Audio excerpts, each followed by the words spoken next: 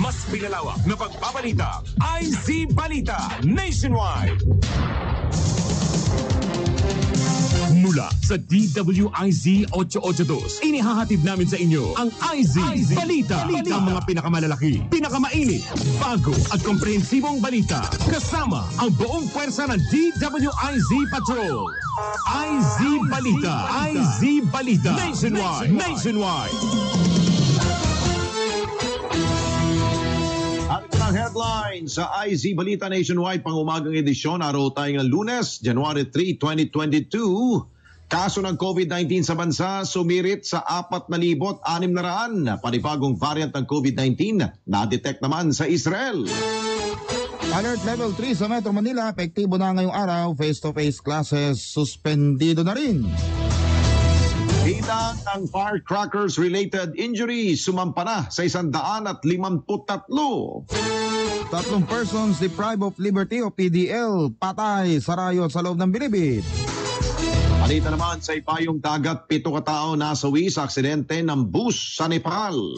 Balitang pangkalakalan, dagdag presyo sa mga produktong petrolyo sa salubong sa unang linggo ng taong 2022. At balita naman sa pangkalusugan, benepisyo at epekto ng pills. Alamin! IZ. IZ Balita. IZ Balita Nationwide. Nationwide. Magandang umaga Pilipinas! Kami po yung mga kasama ngayong umaga. Maayong buntag, ako po si J. Mark Tagala. Ako po si Alex Santos, detalye sa mga balita. Update po na tayo po sa lagay ng panahon. Makakaranas pa rin po na maulap na may mga pag-ulan ang isilangang bahagi po ng Luzon. Particular po dyan sa Palawan area. Bunsod pa rin po ito ng epekto ng hanging amihan at maging ng shear line. Magiging maulap na may pulo-pulong pag-ulan ang natitirang bahagi po ng Luzon, particular po sa Metro Manila. Asahan din po na maulap na may kalat-kalat na pag-ulan, pagkulog at pagidlat sa buong bahagi po ng Visayas at maging sa Mindanao, particular na sa Eastern Visayas at Caraga Region. Kaya pinag-iingat pa rin po ng ating po pag-asa DOST ang ating po mga kababayan sa naturang po lugar sa posibleng pagbahat pag-uuna lupa. Agwat po ng temperatura sa Metro Manila ay nasa 22 hanggang 30 degrees Celsius. Habang sisikat naman ang haring araw ah, kanina pong ah, 6.21 ng umaga at lulubog po yan mamayang alas 5.39 ng hapon. COVID update tayo, nakapag, nakapagtala ang Pilipinas sa mayigit 4,000 kaso ng ah, COVID-19 sa bansa kahapon. Batay ho sa datos ng Department of Health o DOH, 4,600 ang new cases na naitala kaya tumakyat na sa 2,851,931 ang kabuang kaso ng COVID-19. 21,480 naman ang aktibong kaso ng virus sa Pilipinas mula sa mga nabanggit na bilang habang nasa 2,778,943 ang kabuuan bilang ng mga gumaling sa COVID-19 matapos madagdagan ng 535. 51,570 naman ang bilang ng mga nasawi sa COVID-19 matapos maitala ang 25 panibagong nasawi sa virus. Kaugnay niya, na-detect naman ang kauna-unahang panibagong variant ng COVID-19 sa Petah Tikva, Israel. Nito lamang Enero 1. Ang panibagong impeksyon ng COVID-19 ay tinawag na Flurona variant na pinagsamang coronavirus disease at influenza na umatake po yan sa respiratory system kabilang na ang ilong, lalamunan at baga. Natukoy ang nasabing variant sa isang buntis na nanganak sa Rabin Medical Center at nakaranas po ito ng nabanggit na sakit pero hindi nagpakita doon ng sintomas. Kasulukuyang sinusuri ng Health Ministry ng Israel ang kaso ng infeksyon dahil posibleng may iba pang nahawaan ng Florona variant ang naturang pasyente. At ayon sa World Health Organization, ang pagbabakuna pa rin po ang pinakamabisang paraan upang maiwasan ang iba't ibang uri ng infeksyon. Nasa 85% naman ng mga pasyente ng COVID-19 na sa intensive care units ang nangangailangan ng medical ventilators sa government hospital sa Metro Manila na hindi pa bakunado. Ito ang naging pahayag ng Department of Health o DOH sa gitna na rin ng panibagong serye ng pagtaas ng COVID-19 cases sa bansa lalo na sa Metro Manila. Dahil dito muling pinayuhan ng DOH ang publiko, partikular na ang mga hindi pa bakunado na samantalahin ang libreng COVID-19 vaccination drive ng pamahalaan dahil pa rin sa pinagsanib na banta ng Delta at Omicron o Delmicron variant. Tiniyak din ng kagawaran na nananatiling epektibo at ligtas sa mga bakuna laban sa kritikal na COVID-19 na virus at pagkamatay. Baka pa pumilis ang hawaan ng COVID-19 sa bansa, partikular sa Metro Manila, kasabay ng pagtaas sa 28% ng ah, 28.7% ng COVID-19 positivity rate hanggang kahapon kumpara sa 28% nung pong Sabado.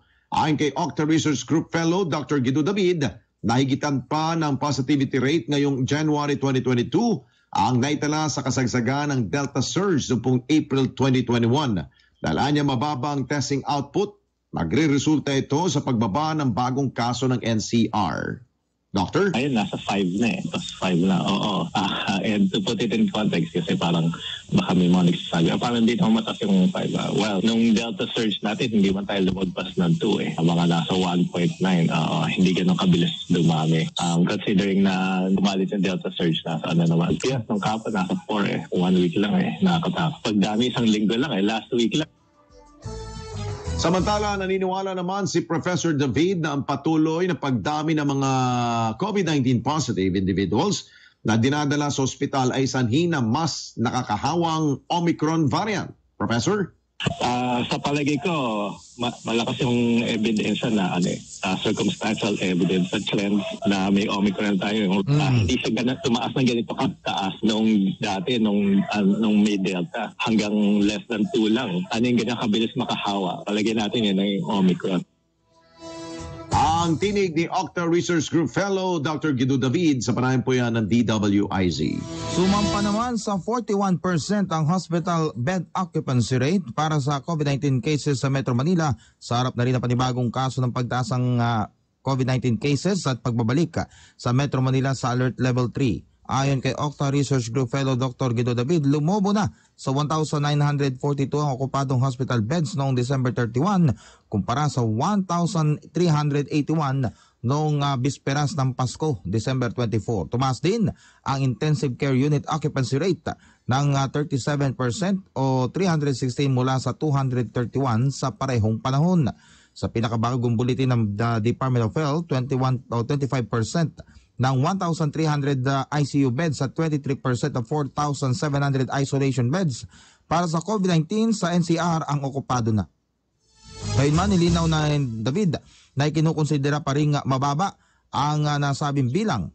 Ta- Taya naman ng uh, Okta na nasa 24% ng uh, 3,700 ward beds at 4% ng 1,000 ventilators ang ginagamit sa Metro Manila. Samantala, buong bansa ng uh, o 20% ng 3,500 ICU beds at 22% ng uh, 18,700 ICU isolation beds ang okupado habang 13% ng 12,100 ward beds at 11% ng 2,900 ventilators ang kasalukuyan ding ginagamit.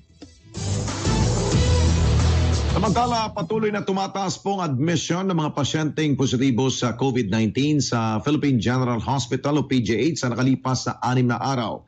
Ayon nga ho kay PGH spokesperson Dr. Jonas Rosario na ating po nakapanayam kanina, kailangan pa na mas maraming beds sa kanilang ospital dahil tatlong beses na tumataas sa 85 ang admission noong po buwan ng Disyembre. Sinabi pa ni Dr. Del Rosario na nakipag-ugnayan na sila sa iba pang uh, COVID-19 referral hospitals at quarantine facilities bilang paganda na rin sa posibilidad ng pagsipa ng admission dyan sa PGH. Isinara ang ah, ospital ng Malabon para sa mga outpatient at kaso ng COVID-19 matapos magpositibo sa COVID-19 ang labinsyam na healthcare workers kahapon. Kasunod ito na ikinasang disinfection at ah, swab testing sa apat na pung kawani na naturang ospital. Ayon kay o ayon sa lokal na pamahalaan ng Malabon, pansamantala munang dadalhin sa Super Health Center sa Barangay Katmon ang mga outpatient at mga residenteng may kaso na walang kaugnayan sa COVID-19. Patuloy namang binabantayan ng mga nagpositibo sa virus habang tatagal naman hanggang bukas Enero 4 ang pagsasara sa nasabing ospital. Para naman sa may mga katanungan, maaari makapag-ugnayan sa mga residente ng ah, sa Malabon Command Center at tingnan ang kanilang Facebook page para sa karagdagang anunsyo. Pansamantalang ipinasara ang Philippine Embassy sa Brussels, Belgium matapos samaan ng COVID-19 ang ilan sa kanilang mga kawani o empleyado. Ayon sa embahada, simula noong pong December ah, tre- na 30 hanggang Enero 7, sarado po ang kanilang gusali. Ito bilang pagtalima sa health protocols at kaligtasan na rin ng publiko sa harap ng paglobo ng COVID-19 Omicron variant sa Europa. Hindi naman idinitalya ng embahada kung ilang empleyado nagpositibo sa COVID-19. Magbabalik ang kanilang operasyon sa lunes, Enero at 10. Nagpositibo sa COVID-19 si Nabota City Mayor Toby Tiangco. Ito ang kinumpirma ni Tiangco sa kanyang Facebook post. Bigyan ng uh, paumanhin ng alkalde sa lahat ng uh, kanyang mga nakasalamuhan nitong mga nakalipas na araw at nakiusap na obserba maigi ang lagay ng kanilang kalusugan. Nikayat din ng alkalde ang uh, iba pang uh, nakaharap na agad na magpatingin sa doktor kung may nakara- o nakararamdam ng anumang sintomas. Sa ngayon ay naka-quarantine at patuloy na minomonitor si Tiangco. Nagpositibo muli sa COVID-19 si Pasay City Mayor Emmy Calixto Rubiano. Batay sa nilabas na anunsyo ng Pasay Public Information Office, sumailalim sa COVID test ang alkalde matapos makaranas ito ng pananakit ng kanyang lalamunan o nagkaroon ng sore throat nitong Sabado. Sa ngayon ay naka-isolate na po ang ah, 61-year-old na alkalde habang inaalam pa ng otoridad kung anong variant ang tumama rito. Pebrero noong nakalipas pong taon, unang beses pong naka, mag, na, nagka, magka-COVID itong si Mayor Calixto Rubiano. Oras natin, 7.16, magbabalik pa rin po ang IZ Balita Nationwide.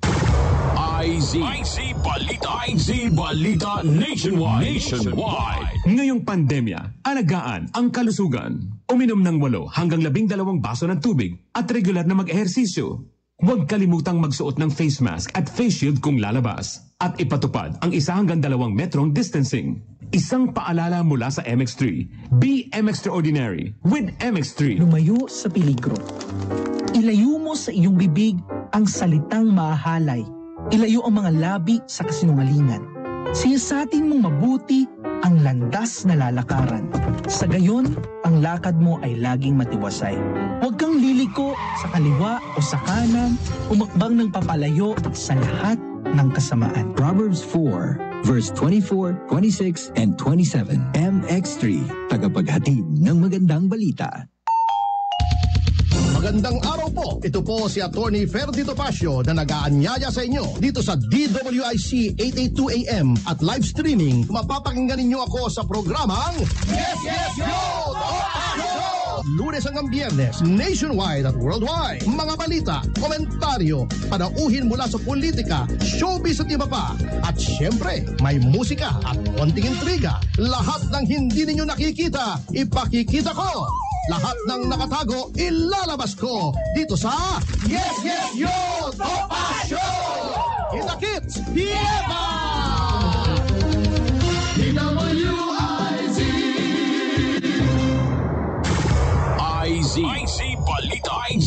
Balita Nationwide. Nationwide.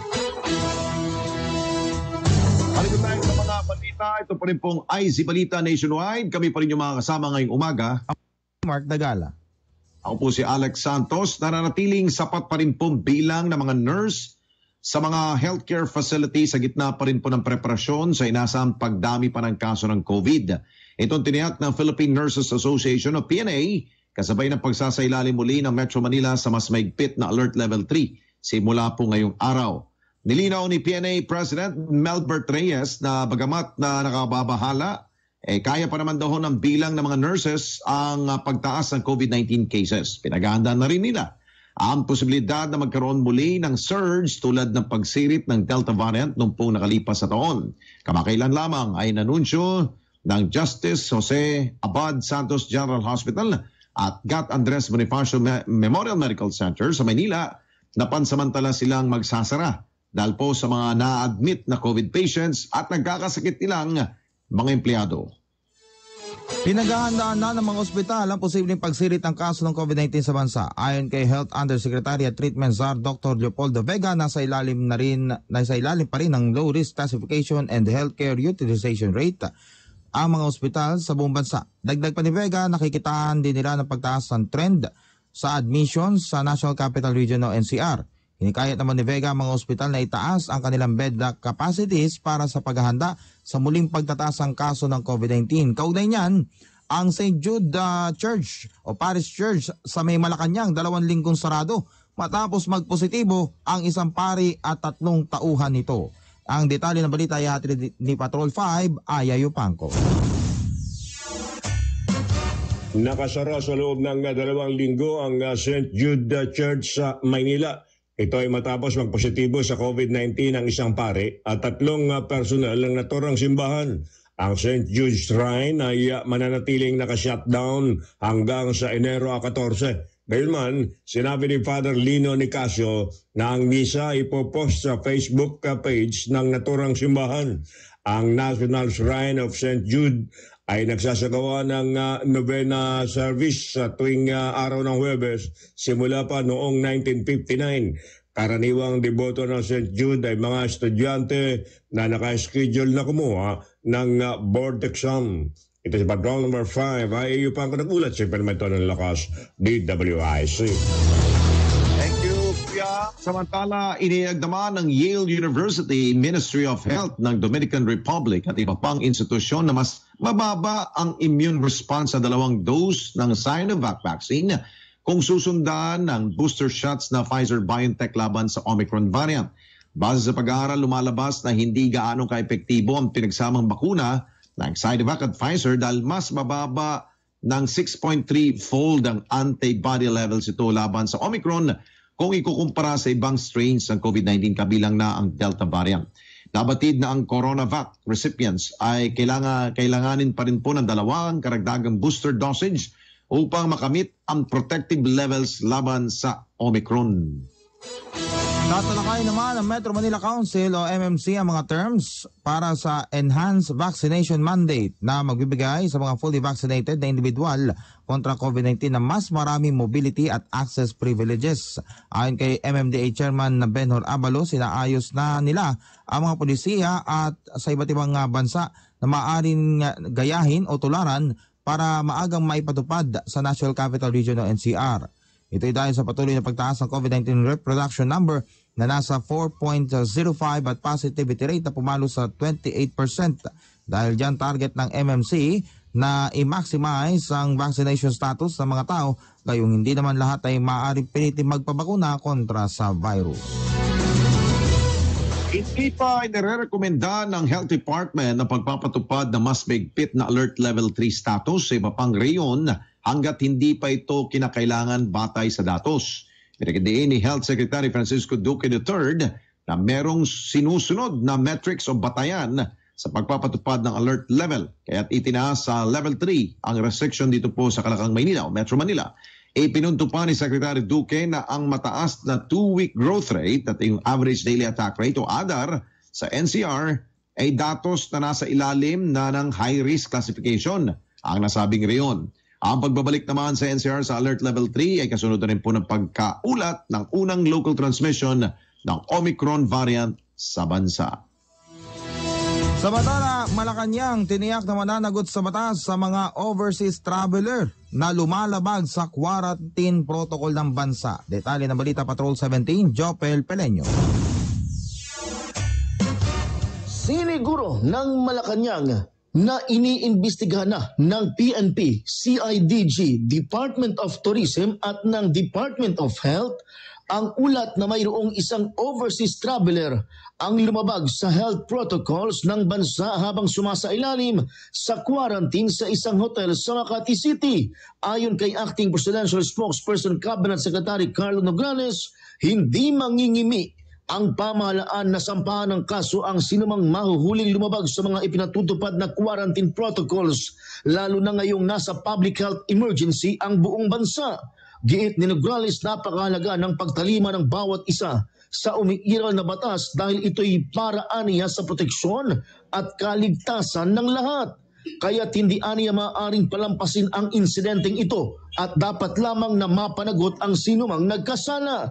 Giit pa ni Nograles, responsibilidad ng lahat gaya ng mga establishmento, international travelers at ng general public ang tumalima o sumunod sa mga umiiral na quarantine restrictions sa bansa upang maiwasan ang muling pagsirit ng kaso ng mga nahawaan ng virus. Ito si Patrol 17 Chopel Pileño nag-uulat para sa impilang may torong lakas, DWIZ. Thank you, Jopel. Samantala, personal filing uh, ng anumang kaso sa katasasang hukuman, bawal na muli. Detalye mula kay Patrol 3, Bert Mosebert. Dahil na rin sa pagsasailalim muli sa Alert Level 3 ng Interagency Task Force for the Management of Emerging Infectious Disease, itong National Capital Region ay pinagbawal na muli ng Supreme Court ang personal filing o mga initiatory pleadings kagaya ng motion for extension, petition for review at iba pa ng mga litigants na mayroong nakasampang kaso sa katastasang hukuman. Sa Memorandum Order 1-2022 na permado ni Supreme Court, Chief Justice Alexander Rismondo, nakasaad na mga personal filing o mga initiatory pleadings ay di na muna pahintulutan dahil na rin sa panibagong alert level na iniutos ng IATF. Samantala, ang lahat ng mga pleadings at mga court submission ay maaari pa rin namang maisampa sa katastasang hukuman alinsunod na rin sa isinasaad ng Memorandum Order 65 2021 o sa pamamagitan ng e-filing o electronics filings. Kaugnay nito, mayroon din kaunting pagbabago sa oras ng pagpasok ng mga empleyado na mananatili pa rin ito sa dalawang grupo. Kung ang dati ay alas 8 ng umaga hanggang alas 4.30 ng hapon, ay magiging alas 9 na ng umaga hanggang alas 3 na lamang ng hapon ang pasok at paglabas ng mga empleyado sa katastasang hukuman. Ito'y simula lunes hanggang Sabado na magsisimula naman sa darating na January 6 taong kasalukuyan. Ito sa Patrol 3. Bert Mozo nagulat sa MP lang may lakas. DWIZ. Thank you, Your Honor. Suspendido na rin ang limited face-to-face classes sa Metro Manila matapos ilagay nga sa Alert Level 3 ang Metro Manila. Epektibo ngayong araw. Ayon naman sa Department of Education, ipinatupad ang suspension matapos ang konsultasyon sa Department of Health.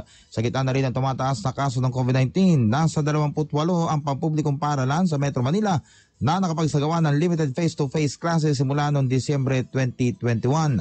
Samantala magpapatuloy naman ang face-to-face uh, classes sa pilot school sa mga lugar na nasa alert level 1 at 2 hanggang maisapinal na ng kagawaran ang in-person classes. Ipatupad naman ngayong araw ng pamalaan lokal ng Valenzuela ang implementasyon sa linya ng mga bisikleta mula Malanday hanggang Marulas sa bahagi po ng MacArthur Highway kasabay ng pagpapatupad ng Alert Level 3 sa Metro Manila. Base po yan sa City Ordinance 269. Sa unang paglabag ay pagsasabihan lamang ng mga violators habang pagmumultahin naman yung pong uh, mga nagkaroon po ng second offense ng 200 pesos hanggang 500 pesos. Ayon sa Valenzuela City Government, ang mahuhuling bikers ay hihingan ng ID na inisyu ng gobyerno gaya ng police clearance at voter's ID habang school ID naman para sa mga menor de edad. Ang mga violators na walang may papakitang ID ay dadalhin po yan sa City External Services Office ang kanilang uh, bisikleta para i-impound. Pansamantala, Uh, samantala, may parusa din na ibang motorista, partikular po ang full uh, apat na gulong na babaybay at mag-okupa sa bike lane at pagmumultain din ng mga ito sa pamagitan ng no contact apprehension policy. Mananatili sa 70% ang uh, passenger capacity sa lahat ng uh, tren kasunod ng pagsasailalim ng uh, Metro Manila sa Alert Level 3. Ayon kay Transportation Secretary Art Tugade, patuloy ang kanilang pagpapatupad ng health protocol sa tuwing sasakay sa mga tren at gagamit ng iba pang rail facilities tulad ng mga estasyon. Ang naturang hakbang ay para maiwasan ang pagsisiksikan ng mga pasahero sa estasyon kung saan maaring magisani ng pagkakahawaan ng virus. Nasa isandaan at limangput tatlo naman ang kabuang bilang ng mga firework-related injuries Matapos ang pagsalubong ng bagong taon, ito'y makaraang madagdagan ng 68 bagong tinamaan ng paputok sa bansa. Ayon sa Department of Health na itala sa Metro Manila ang pinakamataas na bilang na nasa 6 na po. 22 naman sa Region 1 at Region 6, uh, 12 sa Region 3, tig-6 sa Region 5, 7 at BARM, 5 mula sa Region 2 at Calabarzon, apat naman galing sa Region 12, tatlo mula sa CAR at isa mula sa Region 9 at 11. Kabilang sa top 5 firecracker types ang Quitis na may 35 na kaso, labindalawang kaso naman ng Lucis, 10 sa Triangulo, labinlima sa Boga, ba may Boga pa rin pala no? Habang 24 na kaso naman ang hindi tinukoy kung anong uri ng paputok ang ginamit. Maunita naman na hindi legal ang paggamit ng triangle at boga kung saan may naitalang kaso ng nasugatan dahil dito. Labing walong kaso naman ang illegal discharge of firearms o pagpapaputok ng baril sa pagsalubong sa bagong taon at nitong panahon ng Kapaskuhan na naitala ng Philippine National Police o PNP. Bukod dyan, apat na insidente rin na naitala ng mga tinamaan ng uh, ligaw na bala o indiscriminate firing sa lalawigan ng Ilocos, Calabarzon area, Northern Mindanao at Cordillera Regions. Ang uh, mula sa naturang bilang, isa sa mga biktima ay mula sa Batangas na tinamaan ng ligaw na bala sa ulo. Ayon kay Police Colonel Noli Asuncion, kasalukuyan nagpapagaling ang nasabing uh, biktima. Si Asuncion no, ang uh, spokes ang ano ha, ang uh, hepe ng Batangas sa uh, PNP. Habang dalawang sundalo naman ang naharap ngayon sa kasong uh, frustrated murder dahil sa pag, uh, pag o pagbaril sa mga sibilyan habang nagiinuman noong araw ng Pasko. Samantala, sinabi naman ng PNP na bumaba sa 2% ang insidente ng krimen sa bansa mula December 1 hanggang 27 kumpara sa parehong panahon noong nakalipas na taon. Mga balita, panghalalan sa aming pong pagbabalik. Ito pa rin pong IZ Balita Nationwide. Kami po'y magbabalik. 7.31 na po ng umaga. IZ. IZ Balita. IZ Balita Nationwide. Nationwide.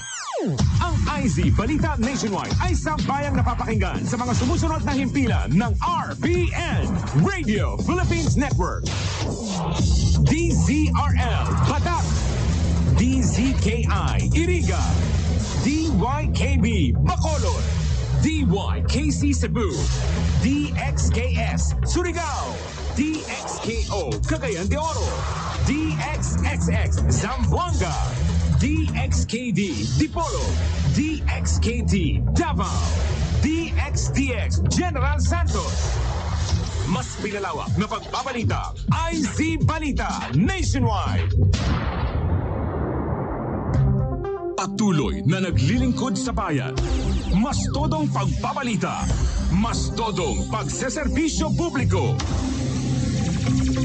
Ito ang DWIZ 882. Mas todong lakas. Mas pinakinggan ng buong bansa. Sa gitna ng pandemya, palakasin ang resistensya. Siguraduhin ang pito hanggang walong oras na tulog. Kumain ng masustansya at manalangin. Isang paalala mula sa MX3. Be extraordinary with MX3. Hi, this is Rene Salud, ang inyong fashion ambassador to the world. Mahaba-haba na rin ang lalakbay ko in my fashion career. I dress beauty queens and known celebrities. Na-curious ako sa MX3, so I tried. Two years ko na itong tinitake kasabay ng proper diet at regular workout. Para sa akin, ang MX3 is like my beautiful creations. Fit for a queen anywhere in the world. Mahalagang paalala, ang MX3 capsule ay hindi gamot at hindi dapat gamiting panggamot sa anumang uri ng sakit. DWIZ 882 Maririnig saan man panig ng daigdig. Mag-livestream lamang sa www.dwiz882am.com o i-download ang official DWIZ 882 app sa Apple Store at sa Google Play Store. DWIZ 882 mapapakinggan worldwide. Into the new normal, Eternal Plans plan holders can pay their plan installments at any branch nationwide of the following banks. City State Savings Bank, Plan Bank, RCBC, UCPB, and China Bank Savings. For online payments, plan holders may use the PayMaya app. For plan holders abroad, payments can be made through RCBC Telemoney Facility. Holders may also pay at any outlet nationwide of CIS Bayad Center or Western Union USSC. Payments using credit cards are also accepted using its auto debit facility. For more information, contact Internal Plans at cons at internalplans.net.ph or at telephone number 02 8706 3562. DWIZ Manila, DWIZ Palawan, DWIZ Tagupan. DWIZ can now be heard anytime and anywhere. Just download the DWIZ app on Apple Store and Google Play Store. Get updated with the latest news in and out of the metro and participate in the discussion.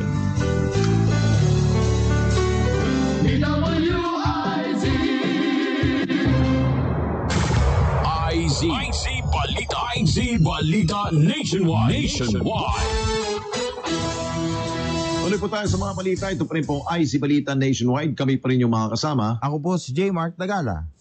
Alex Santos po, inihirit ng kontradaya sa Commission on Elections sa COMELEC ang pagbasura sa petisyon ng PDP Laban na muling buksan ang paghahain ng Certificate of Candidacy o COC.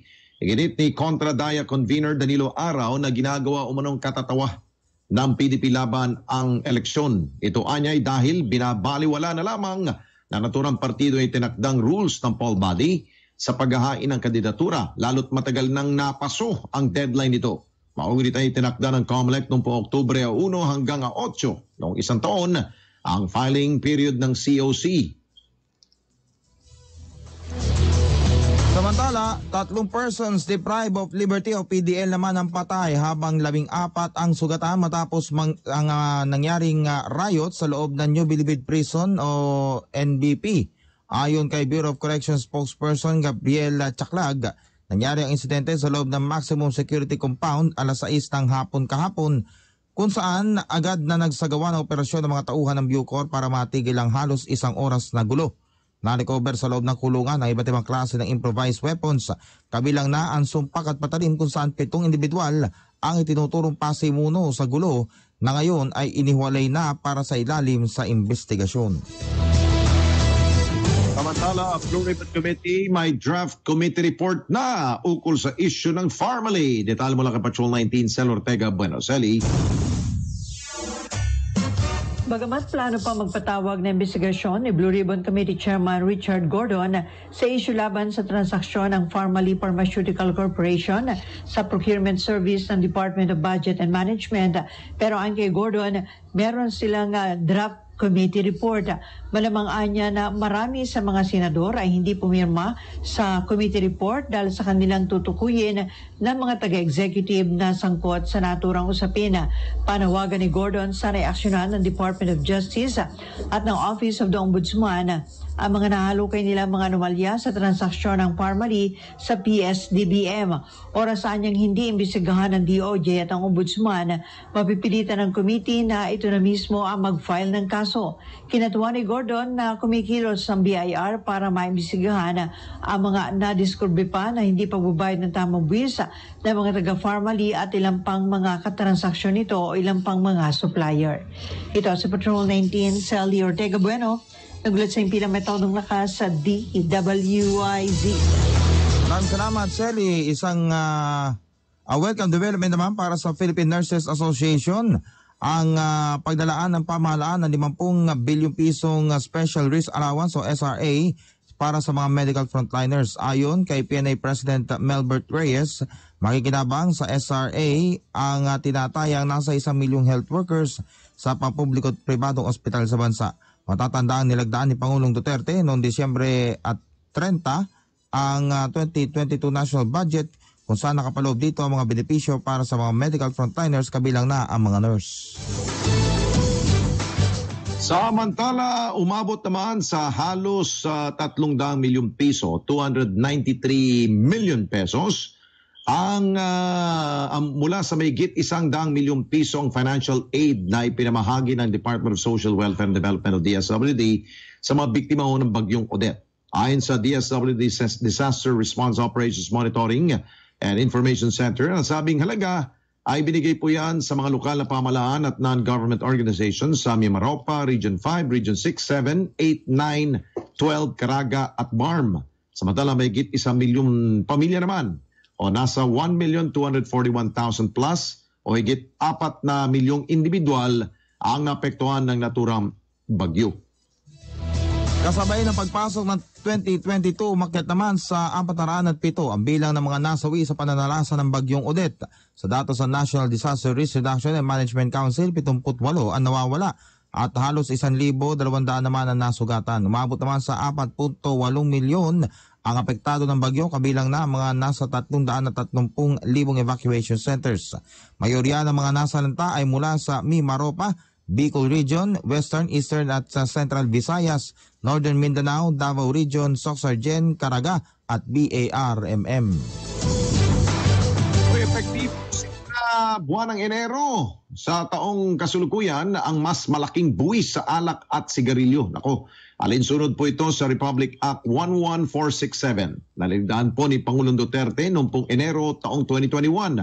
Aabot na po ang excise taxes na sigarilyo sa 55 pesos kada pakete ngayong 2022 kumpara po yan sa 50 pesos kada pakete noong pong 2021. Magtataas din po ng buwis ang heated tobacco products sa 30 pesos ngayong taon kumpara sa 27 pesos 50 centavos noong 2021 at 47 pesos kada milliliter ng salt nicotine products mula sa 42 pesos kada ml noong 2021. Para naman sa mga alcohol products, sa mga manginginom, ang buwis para sa distilled spirits ay abot na po sa 52 pesos kada proof liter ng uh, inumin at 39 pesos kada litro para sa beer products. Nako, para sa wine products naman, ipatutupad ang 50 pesos excise tax kada litro simula ngayong taon at magtataas pa ng 6% kada taon simula 2021. Ang naturang dagdag buwis ay ginagamit upang ponduhan ang universal healthcare ng bansa. Sa ating police report, isang Special Investigation Task Group ang binuo ng Philippine National Police para tutukan ang pagpatay kay 13 Martires City Assistant Prosecutor Edelbert Mendoza. Ayon kay Calabarzon Police uh, Director Brigadier General Eliseo Cruz, pangungunahan ng uh, Regional Deputy Director for Operations na si Colonel Gerardo Umayaw at Chief of the Regional Staff na si Kerwe, uh, Colonel Edwin Kilates ang investigasyon sa tulong ng uh, PNP Criminal Investigation and Detection Group uh, Intelligence Unit kasama sina Colonel Noel Nunez at Cavite Police Chief Colonel Arnold Abad. Sa investigasyon, uh, nag-eersisyo si Mendoza sa labas sa kanyang tahanan sa barangay Kabuko, 13 Martires, Cavite nang barilin sa ulo ng malapitan nang hindi pa matukoy na salarin bago ito kumaripas papatakas at papalayo. Isiniwalat ni Abad na kabilang sa mga tinututukan nilang motibo na ang o anggulo sa pagpatay ay ang trabaho ni Mendoza bilang piskal Partikular na ang issue ng land dispute o agawan sa lupa at personal grudge o alitan. Naasawi naman ang isang dating alkalde sa bayan ng Anda sa Pangasinan matapos itong pagbabarili ng dati umano nitong bodyguard sa barangay na Magbagan. Kinilalang biktima na si Aldrin Serdan, 50 taong gulang at nakatira sa, sa sabing lugar. Batay sa initial na investigasyon ng PNP, Nagpapahinga lamang sa kanyang farm itong si Serdan dahil dumating ang suspect na si William Kagapan, uh, Kagampan at pinagbabaril ang biktima. Agad namang na-arrest ang suspect na ngayon po ay naharap sa kaukulang kaso. Arestado ang dalawang iniinalang miyembro ng Bukas Kotse Gang matapos ituro ng isa sa kanilang nabiktima sa ng at natangayan ng pera at kagamitan sa Dasmariñas City sa lalawigan ng Cavite. Kasalukuyan nakakulong sa Dasmariñas City Custodial Center ang mga suspect na kinilalang sina Raymond Carrasco, 33 anyos at Mark Cabarrientos, 27 o 26 anyos. Samantala pinaghahanap naman ng mga otoridad ang kasabwat ng dalawa na si Jordan Jeronimo Manquera. Ayon sa pulisya, narinig ng biktiman si Eddie Montaliana ang tila pagsasara ng pintuan ng kanyang sasakyan na nakaparada sa lugar. Paglabas si Montaliana, Nakita nito ang tatlong lalaki sa loob ng kanyang kotse. Kaya agad siya nagpasaklolo sa mga barangay tanod na dumampot kina Carrasco at Tabarietos. Na-recover naman sa mga sospek ang isang gunting, Swiss knife, brown envelope na may lamang cash na pagmamayari ni Montaliana. At isang kahon ng imported na sigarilyong ipinuslit sa Indanan Sulu ang nasabat ng otoridad. Natagpuan ng mga pulis ang mga abandonadong kahon sa sitio La Umnyog, Barangay Kahatian. Ayon kay Major Edwin Sapa, hepe ng Indanan Police, naglalaman pala ho ang mga kontrabando ng mga brand ng Canon, famous B at uh, BNR at Stone. Agad tumakas sa mga magdi-deliver sana ng mga sigarilyo sa isang uh, buwer ng uh, namataan, ah, sa isang buyer ng mamataan ng mga pulis. Itinan over na po sa Bureau of Customs sa Holo ang nasapat na shipment habang inaalam pa ang halaga nito. Nasunog ang isang residential area sa Luzon Street kahaba ng Estero de Magdalena, Barangay 266 sa Tondo, Maynila kahapon. Batay sa initial investigasyon ng Bureau of Fire Protection National Capital Region, tinupok na nga po yan nasa tatlong palapag na bahay na pagmamayari ng isang Virgilio Payawal kung saan naabot sa 50,000 piso ang naabo. Wala namang naiulat na nasuwi o nasugatan sa sunog, subalit aabot sa mayigit 25 pamilya ang apektado matapos ang nangyaring insidente. Naalam pa ng mga arson investigation ang pinanggalingan ng sunog. 7.45 na po ng umaga, magbabalik pa rin po ang IC Balita Nationwide. IZ. IZ Balita. IZ Balita Nationwide. Nationwide.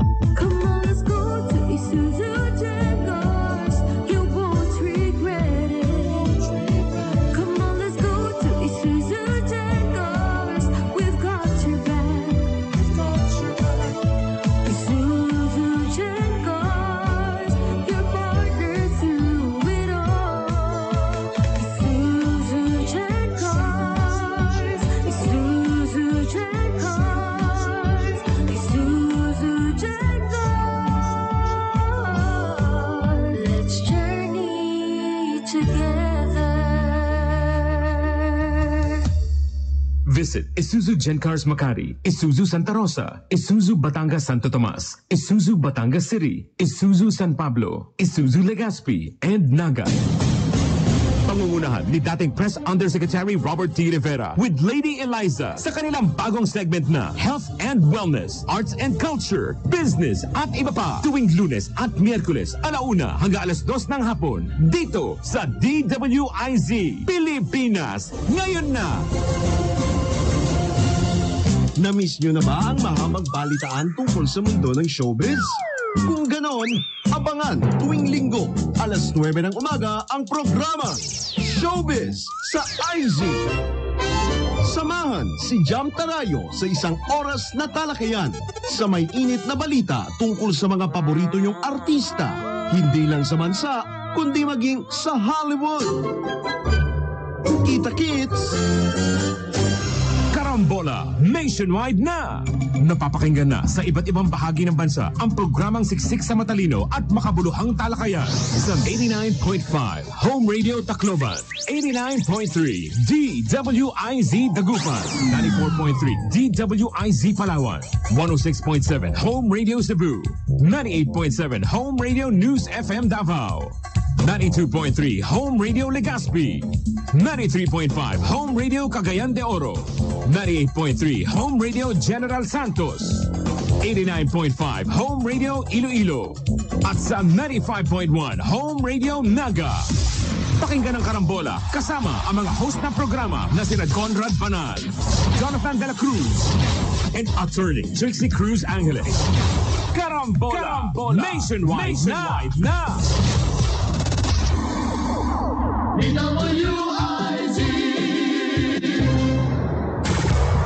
IZ. IZ Balita. IZ Balita Nationwide. Nationwide. Balitang pangkalakalan. Hoy, kasado na bukas ang big time all price hike ngayong unang linggo ho ng taong 2022. Maglalaro daw ho sa piso at 90 sentimos hanggang 2 pesos. Ang dagdag presyo sa gasolina, samantalang 2.20 naman hanggang 2.30 sentimos sa diesel.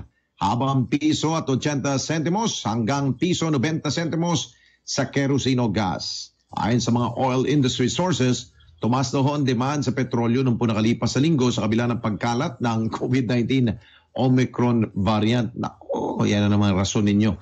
Isa rin umano sa dahilan ng paghina ng palitan ng piso kontra dolyar. Sa kabila nito, may tapyas naman po sa presyo ng LPG na 2 pesos 55 centavos sa kada litro ng at kada kilo pala ng tangke ng Solane, Petron, Gasol at Phoenix Super LPG simula po kahapon. Balitang pangkalusugan. O alam nyo ba ang mga benepisyo makukuha sa pag-inom ng oral contraceptive pills o OCP? Ito raw ho'y makatutulong para maiwasang mabuntis ang isang active sa pagkikipagtalik at para ma-regulate ng tama ang kanyang menstrual cycle. Ito'y isa rin sa mga nire-reseta ng mga doktor para sa mga babaeng nakararanas ng polycystic ovary syndrome o PCOS o yung tinatawag ng hormonal imbalance upang maging regular ang kanyang menstruation at ah, ang pills din ang siya pumipigil sa ovary ng babae para maglabas ng itlog tuwing ovulation day ng isang babae. Pinakakapal din ito ang cervical mucus ng isang babae na nagsisilbing harang para hindi mag-meet o magtagpo ang sperm cell at egg cell. Samantala, mayroon din namang epektong idinudulot ang pag-inom ng pills kabilang ng pagkakaroon ng pimples, bleeding o pagdurugo, spotting, pagtata o pagtaas ng blood pressure, at ah, pagkakaroon ng depresyon. May nagdudulot din ho ito ng fatigue, pagkahilo, fluid retention, o hindi masyadong paglalabas ng fluid sa katawan, pananakit ng ulo, pag, ah, paglakas o pagiging magana sa pagkain. Karamihan naman sa mga babaeng umiinom nito ay hirap sa kanilang pagtulog. Ah, nagkakaroon ho ng melasma o pagkakaroon ng dark patches sa bahagi ng muka. Mood swings, pag susuka, pagsakit ng bahagi ng dibdib at pagtaas ng timbang. Bukod pa riyan, maaari din magkaroon ng blood clot, gallbladder disease, heart attack, high blood pressure, liver cancer at stroke. Kaya't minabubuti ho na pinapayuhan ng mga babae na magpakonsulta muna sa doktor bago uminom ng contraceptive pills. Balita sa labas ng bansa. Patay ang pitong individual habang sugatan naman ang labintatlo sa aksidente ng bus sa Mountain Highway ng Nepal sa South Asia po yan. Ayon kay Government Administrator Shashidhar Gimere, binabaybay na naturang bus ang Lagua Mountain Village mula sa West Kathmandu. Sa kayan 20 o 35 individual nang maganap ang aksidente. Inalam pa ng otoridad kung ang makapal na hamog ang dahilan ng aksidente sa nabanggit na lugar.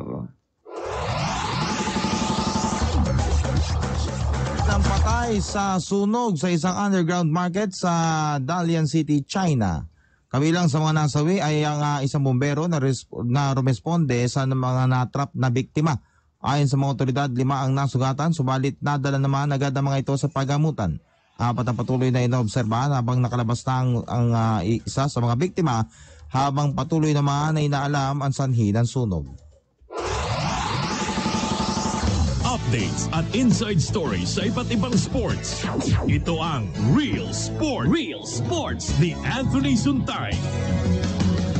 Crafted for the masses. Haul big opportunities kasamang toughest medium-duty truck. Hurricane ESTM 4x2 dump truck. Kayang-kaya pumasan ng hanggang 13 tons of payload sa 13 CBM nitong dump box capacity. Available with as big as 550k cash discount. For inquiries, call 0999-999-9998. Promo runs until December 31, 2021. Per DTI, Fair Trade, Fair Trade. Permit number, FTD 128471, Series of 2021. Gusto mo bang manalo ng one-year free fuel supply? Kaya naman ngayong Pasko, may malaking sorpresa na handog ang Clean Fuel, ang Paskong panalo ng Clean Fuel e-raffle promo. Magpagas na sa Clean Fuel at maaari isa ka sa limang mananalo ng one-year free fuel supply at iba pang premyo mula sa Paskong panalo ng Clean Fuel. Sa Clean Fuel, bawat litro ay laging panalo. Mag-Clean Fuel ka na. Quality fuel for less. Promo period, November 17 to January 26, 2022. Per DDI, Fair Trade, Permit Number, FTB 130937, Series of 2021. Balitang Sports Out Out, siyempre Real Sports by Anthony Suntay. Anthony, Happy New Year! Happy New Year! Happy New Year, Alex. Happy New Year, J-Mark. Alam mo, hindi Happy New Year ang pag-umpisa rito para sa PBA dahil medyo tumaas na naman yung mga COVID cases during the holiday break at ngayon ang PBA teams sa kanila pag-umpisa ng bagong taon, eh, mag-uinsahe na sila in small groups. So in groups of five lang daw sila po pwede. Hindi na pwede yung full practices dahil nga ang nangyari, eh, inakit na sa alert level 3 ng IATF yung buong Metro Manila. So para sa mga PBA teams, professional sports, at saka yung sinasabi nga lang contact sports, hindi pa muna sila pwede makapag-ensayo. Sabi ni PBA Commissioner Willie Marshall, eh, na-advise na yung kanilang mga ball clubs, eh, yung kanilang full practices, hindi na po muna po pwede. Ang alert level 3, alam naman po natin sa Metro Manila is from January 3 hanggang January 15. Ngayon, eh, itong mga teams are going to be back to practicing today in groups of five. Eh, medyo mahirap ngayon dahil siyempre para sa mga coaches, they're looking for chemistry para doon sa kanila kanilang mga koponan. Mas lalo na, meron silang mga bagong imports dito sa Governor's Cup. Pero ngayon, eh, five aside practices lang ang po pwede. So, medyo mahihirapan yung kanilang mga coaches na makapaghanap ng chemistry. Alam mo, sabi nga ni Willie Marshall, dun sa kanyang panayam kahapon, eh, confident pa naman daw siya. Malakas, malakas yung, ano, yung yung kutob naman niya na matutuloy naman daw yung Governor's Cup eliminations na mag-umpisa ulit dito sa Miyerkules na to. Dahil ang plano niya, eh gagawin nila yung dating sinasabi lang home gym, home setup. Kaso lang, wala na mga fans sa mga stands. Hindi katulad ng nangyari noong Desyembre. Ang sabi niya to, remember, nung alert level 3, which is equivalent to the GCQ last year, na pinayagan naman tayo maglaro sa Inari Center under closed circuit system. So sabi niya, eh, inaasahan natin na maitutuloy natin yan. Pero malalaman natin yan by today, itong lunes na to, dahil nasulatan na nila yung mga respective government offices, yung LGUs, at saka yung Games and Amusements Board. At sabi niya, sa pagbubukas ng mga government offices sa lunes, which is today, gentlemen, sabi niya, magkakaroon na tayo ng clearer picture. So let's hope na matutuloy yung PBA. Oh, Anthony, what about yung sa mga ano, collegiate, yung sa UAP and NCAA, may mga bubble na rin ba silang ginagawa ngayon na practices? Yun ata yung pinaka mas malaking problema dahil nga yung mga pinapayagan lang under alert level 3 Alex, that's a very good Yes. question, is professional sports. Pero kung Yun. professional sports only allowed in a bubble setup. Eh ngayon, syempre, hindi naman pro yung mga collegiate leagues. And so ngayon, baka ma- masira na naman yung kanilang plano dahil yung NCAA at saka yung UAAP, ang plano nga, itong darating na Pebrero, magsa-start na sila talaga ng kanila kanila mga liga from volleyball to basketball. Pero ang problema, contact sport nga yung basketball. So baka hindi na naman matuloy ang basketball sa UAP at saka sa NCAA. Ma, napakalungkot nun. Dahil may kapitbahay kasi ako dito na manlalaro. Eh ngayon, eh, mukhang naudlot na naman siguro ang kanilang mga ensayo-ensayo na yan, na Anthony. Tama yung sinabi mo. Pagdasal lang natin, basta medyo bumaba ulit yung kaso at maibalik sa alert level 2 yung Metro Manila, makakapag-umpisa sila. Okay. Anthony, thank you so much. Happy New Year, everybody. Para sa Real Sports. Ito po, si Anthony Santay. Silong Mejia to. Ang tagal ko nang sumusubaybay sa sabong pero ngayon lang ako nakakita ng ganito kaswabing partner. Oh, parang di na kayo mahirapan. Sasabihin ko na, one stop